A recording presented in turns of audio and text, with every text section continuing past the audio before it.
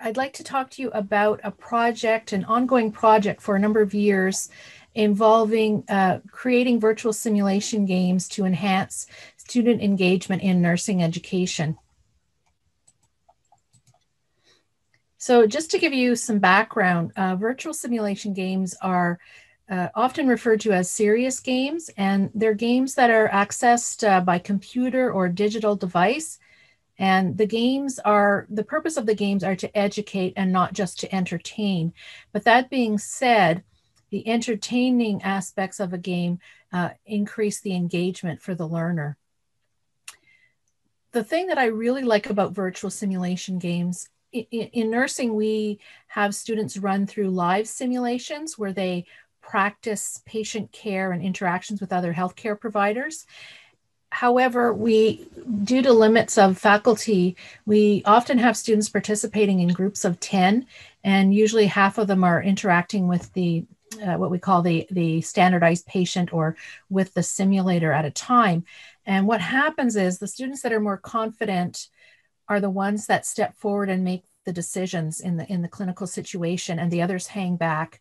Um, but when you have a virtual simulation where the student is uh, playing it by themselves, they have to step up and make the decisions. And they're more comfortable because they don't have someone watching them um, and if they make a mistake.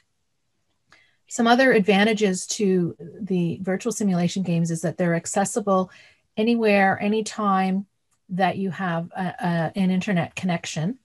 The students can repeat them as many times as they like. They can go down they can select the incorrect answers and get immediate feedback as to why those are incorrect or not the best responses. And when they pick the correct answer, the, the game will proceed. Marian, are you using slides? Oh, no, you can't see them? No. Okay, no. I hit share. Uh, there's an extra thing you have to hit. Okay, thank you for telling me. okay. Now I just got to get my slides back. Sorry okay. Thank you. Um, so similar to live simulations, virtual simulation games have been found to increase knowledge, um, satisfaction, self-efficacy, and other uh, learning outcomes. And so they, they are valuable, but they are something that is a little bit newer and has not been traditionally used in nursing education. We got into uh, virtual simulation games, and, and when I say we, um, I'm the co-president of the Canadian Alliance of Nurse Educators Using Simulation, which grew out of uh, an organization in Ontario called the Ontario Simulation Alliance. And so we were a group of nurse educators that came together originally to create live simulations and then um, ended up um, focusing on virtual simulations. And, and the reason for this was that we found our students were coming to their live simulations and they weren't prepared. And so we thought that a, a, game might be a better way to prepare them than doing readings and, and other things that we know they don't like to do. And so one of the ways you can use a virtual simulation game um, we've demonstrated is to prepare for a live simulation. We can also use them to replace a full simulation. And again, the advantages are, to that are the cost effectiveness, um, although you still do need to debrief the, the simulation. We can use them to teach clinical skills. We can use them in the classroom as perhaps with a classroom response system. And we can use them to either supplement or replace classroom time, simulation time, and uh, even clinical teaching.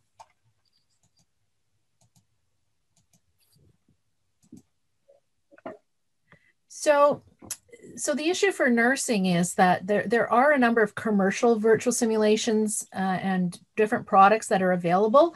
However, they are expensive. The licenses are expensive and the expense is usually passed on to the students. And we know they don't, they can't afford textbooks, so they, they can't afford these licenses. And then uh, to develop uh, virtual simulation games, traditionally was time consuming and costly and you would have your video video team and IT support and all of that. And so what we did we, was we proposed to develop a user-friendly, cost-effective way to develop our own virtual simulation games. And so we, we decided on video-based versus avatar-based. Um, and they're based on learning outcomes. And what we simply did was film a video clip of a clinical situation in the lab using a GoPro camera. So the student would see this video clip, which is filmed from the perspective of the nurse and literally puts them into the nurse's shoes. And so they would then uh, have to select one of three potential nursing actions as the next uh, the next step. And then they would uh, receive immediate feedback following that selection of whether or not it was correct or incorrect and what was the rationale for that. So that, that first uh, study that we did uh, demonstrated that was both feasible and cost effective for nurse educators to develop their own uh, virtual simulation games. And our evaluation showed that they were rated highly by both the educators and the students using them in terms of usability, engagement, and learning. And the students that prepared for a live simulation using the game were rated it more significantly higher than those that uh, prepared using a case study. So this was before COVID. And so very few were using these virtual simulation games. However, as a result of the pandemic, there was a, a, need to move nursing courses online across the province and across Canada and globally. And so the, the simulation organizations issued a joint statement on the use of virtual simulation during uh, the pandemic, supporting the use uh, as replacement for clinical hours for health professional students. And indeed, uh, simulations were being used to replace uh, clinical so, our response to this was that uh, we had already developed a repository of virtual simulation games that were available to our members that had contributed or helped make the games. And so we released these uh, open access for all nurse educators across Canada and, and, and beyond. And uh, the, we collaborated with the Canadian Association of Schools of Nursing to disseminate uh, this this this uh, information, and immediately they wanted to collaborate with us to create a, a virtual simulation game about COVID 19 assessment and PPE because it was much needed. And so this is a game we created. It is available open access on the CAN-Sim uh, website. After that, it was uh, because of the success of that project that we actually did that with no funding it, within two weeks, we had the game up on the website and then we had it translated and put on the website. And then after that, uh, along with CASN, we were able to get some funding from Health Canada to create more virtual simulation games related to caring for COVID 19 patients. And so we brought in, uh, we recruited a team of, uh, of uh, subject matter experts who were um, experts in uh, critical care, emergency nursing to help us design the games. We use the CAN-Sim design process, which is uh, starts with the learning outcomes and competency indicators. Then we create a decision point map with all of the, the questions and the responses. And then we use that to write the filming script.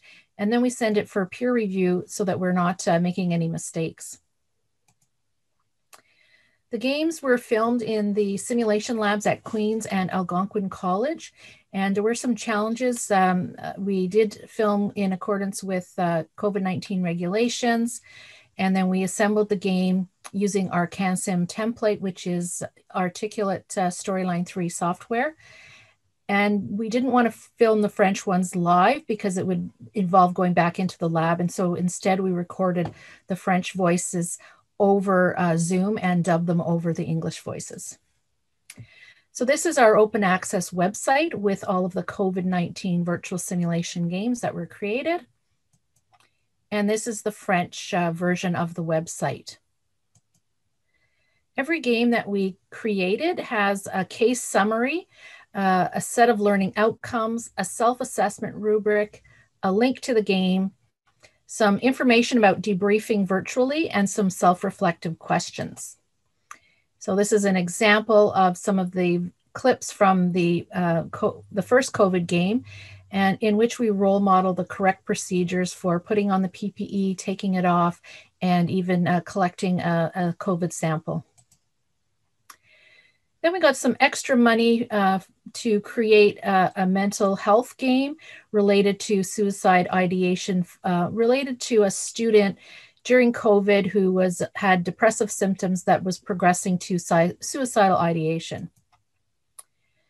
Our games have been accessed over 1 million times since September. The original game was has been accessed over 2.5 million games since last uh, March. There was a brief user survey embedded in the, the VSGs. And so this demonstrated that the users um, found that it did help increase their knowledge related to PPE. It helped them feel more prepared to uh, providing nursing care and that the information was clear and easy to understand in the games.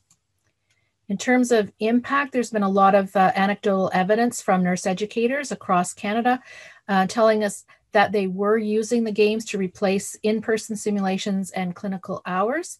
And many schools were requiring them to use the COVID games prior to going to clinical.